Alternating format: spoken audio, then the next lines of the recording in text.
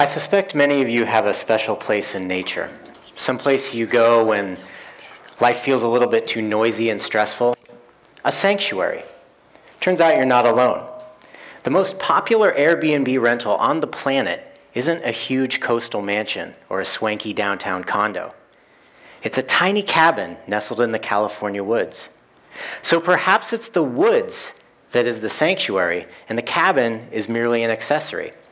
With or without the cabin, nature is the common denominator when we seek out these kind of peaceful retreats. So let's consider those special places in nature that we go to heal from life's traumas as natural sanctuaries. John Muir proposed this 100 years ago when he wrote Thousands of tired, nerve shaken, over civilized people are beginning to discover that going to the mountains is going home, that wildness is a necessity, that nature parks and reservations are more than just fountains of timber and irrigating rivers, they're fountains of life. In the spirit of John Muir, I became curious about my own interpretation of a natural sanctuary remote, wild places untrammeled by man. I pondered uh, this question what does it mean to be remote? Uh, when I saw a Verizon billboard that was advertising a wash of red cell coverage across the United States. I became curious about those small, isolated pockets on the map where there was no coverage. I next saw a light pollution map of the US, and again, my interest was piqued by those places that felt like dark oases in a sea of light. I began to consider what it meant for me to be remote. If I could be in a designated wilderness and look up and see the night sky obscured by light pollution, or if I could text and Facebook from my sleeping bag, that didn't feel like the true wilderness, my natural sanctuary that I was looking for. So it evoked the question where was the most remote place in the continental US? Together, working with a GIS mapmaker, I came up with a list of distinct conditions that, for me, described my ideal of remote wilderness. Together, we put together a layered map of remoteness and isolated a sliver about 22 square miles. After some Google Earth scouting, I recruited my adventure buddy Bryce to join me on a quick expedition to see it. It felt like a pilgrimage to someplace sacred. After leaving pavement, we drove 65 miles of dirt road, hiked 20 miles of trail, and arrived at the outermost edge of the civilized world. I felt light, untethered, and completely absorbed by the moment. Absent of man made distraction, my mental clarity was at its peak, my senses invigorated. I think back to those 48 hours exploring this remote sanctuary as me being my best self. While the batteries on my phone were weakening, I was recharging off of nature. I grew up as an only child on Deer Creek out in Dixonville, and my childhood was spent playing in the woods and creek behind my house. Collective years of my life were spent building forts, doing yard work, yeah, yard work, right? Um, uh, fishing, and since living in Portland for the past 20 years, um, my various careers of teaching, tour guiding, and running a business have required a lot of people interaction. Um, as a child, I was introverted and shy around people, and now I spend a lot of time around people. I spend a lot of time at the computer, and I spend far too much time, more than I'd like, away from nature. See, the outdoors was my sanctuary, and while living in the city, I've drifted from that truth. Uh, Add in the relentless distraction of emails, text messages, social media, and the consequence has been a deterioration of my own mental health and a declining resilience to those ebbs and flows of life. I'm more susceptible to depression, anxiety, stress, and questioning my own self worth. My relationships with other people suffer because while I may be present, the noise in my mind prevents me from being present for those other people. Two years ago, I put my life on hold and took a sabbatical from my work because I was no longer able to pretend that I was okay or that I could simply flip a switch and get over it. I felt deep sadness, anxiety, insecurity. I felt empty. I would never imply that my circumstances were all that exceptional, but I had lost the mental resilience to overcome. Instinctively, I knew I needed to spend time in a remote, wild place in order to tap into that state of mind that is calm, confident, and happy. I knew I needed to spend time in my natural sanctuary. Some may call it a midlife crisis, others may diagnose it as depression, and while it felt very lonely, I also began to realize I was definitely not alone. Statistics regarding mental health in the United States are nothing short of pandemic. One in five adults will experience a mental illness in any given year. Yet over half go untreated. Now, the consequences of no treatment are pretty predictable. Serious mental illness each year in the United States costs our country billions in lost earnings, is a leading cause of hospitalization and premature death. Estimates suggest that every day, between 18 and 22 veterans die by suicide.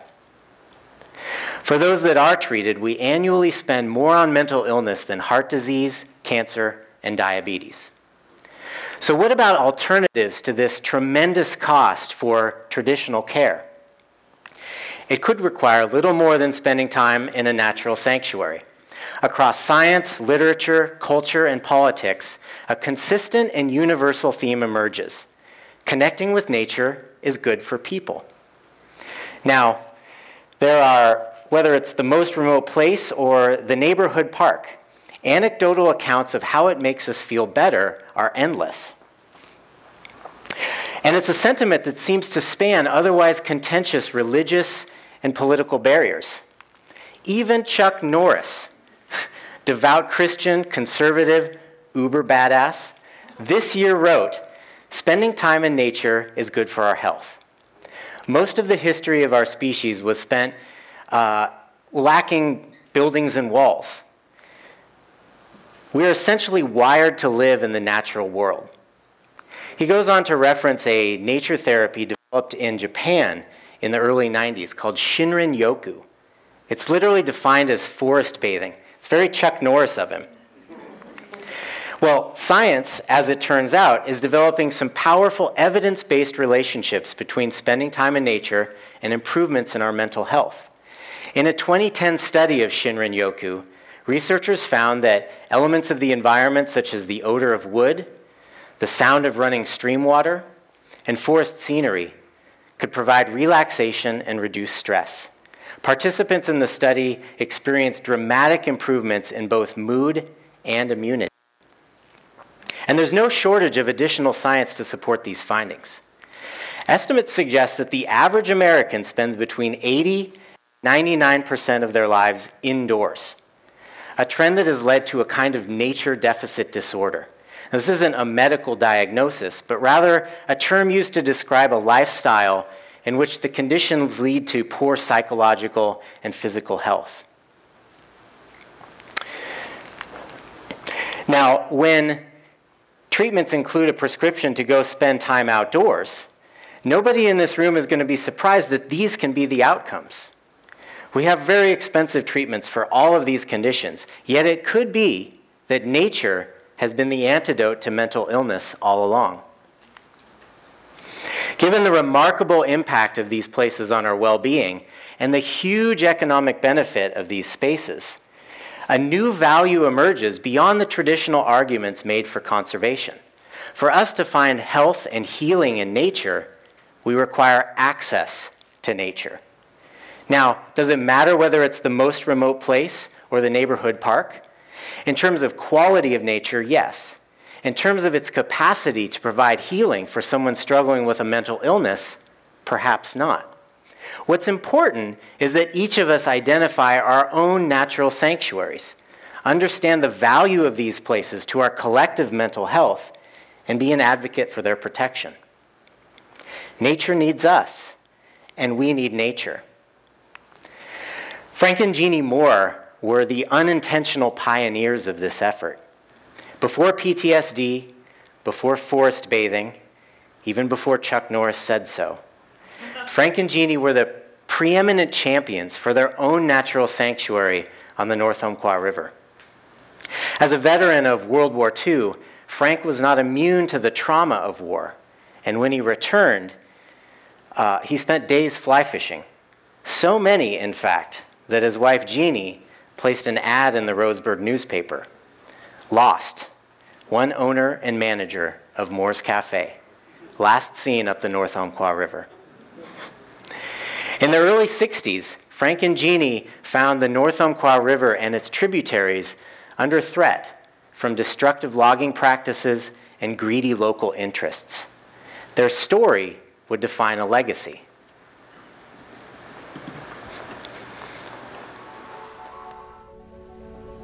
Every spring, the buds pop, the leaves come out again, and it's an ongoing cycle.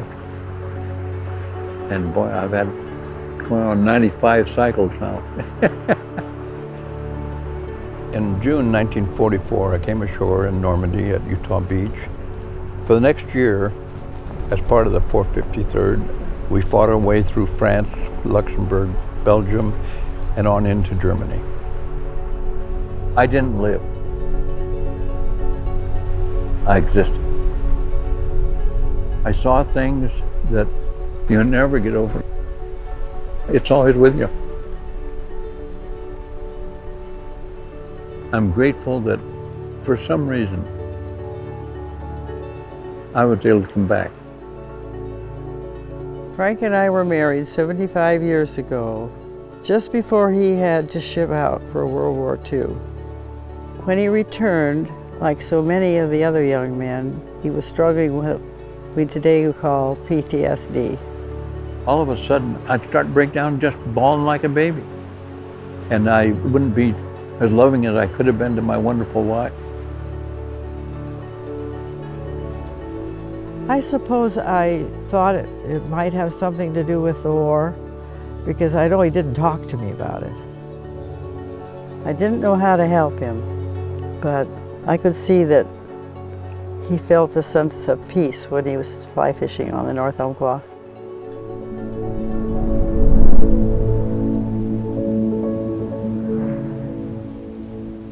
I can still remember how I'd be standing out there and watching the swallows fly around in the evening. Looking up and see the, the rock bluffs of the beautiful North Umpqua steamboat looking down and see a big steelhead swirl at the bottom of the pool.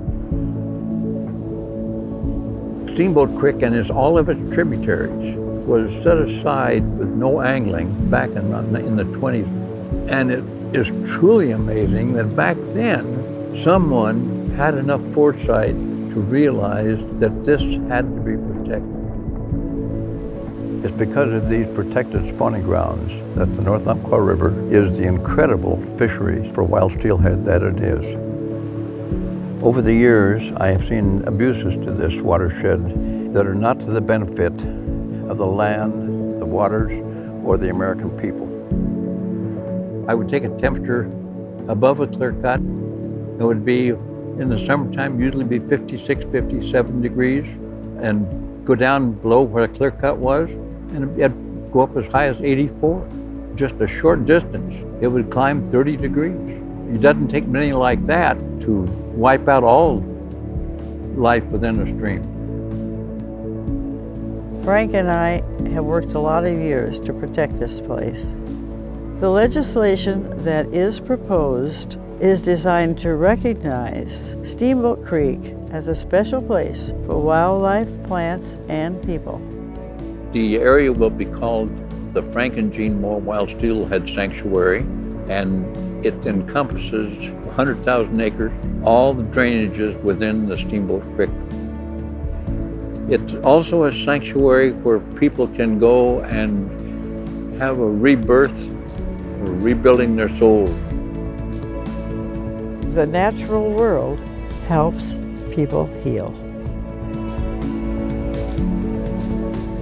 How lovely is the hand of God that smooths the rough place man has trod.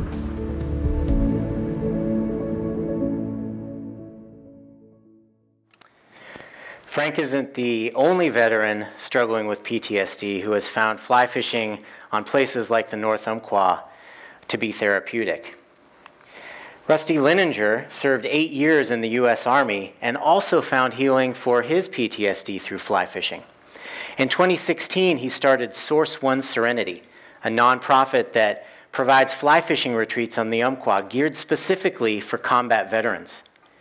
Numerous other organizations are emerging across the U.S. whose mission it is to heal struggling veterans by immersing them in natural sanctuaries. There are a few projections for our future which are concerning. Our population is expected to grow to nearly 10 billion by 2050. Today, over half of us live in cities and will continue to tip the scales towards a more urban lifestyle. This means more people living more disconnected from nature which trends and studies suggest is will continue to erode away our collective mental health. Whether it's the most remote place, the North Umpqua River, or the neighborhood park, all are valuable and all are vulnerable. If conservation initiatives feel impractical, consider our veterans returning from war, our children growing up in an urbanized world, or the one in five of us in this room that struggle with our own mental health. For us, natural sanctuaries matter. Frank and Jeannie are great examples of the more than words effort it takes to protect a place on behalf of the plants, animals, and people that seek sanctuary there. Look in your own backyard to see where nature needs help and be a champion for its protection. Nature needs us, and we need nature. Like Frank and Jeannie, we all have the capacity to save our sanctuaries.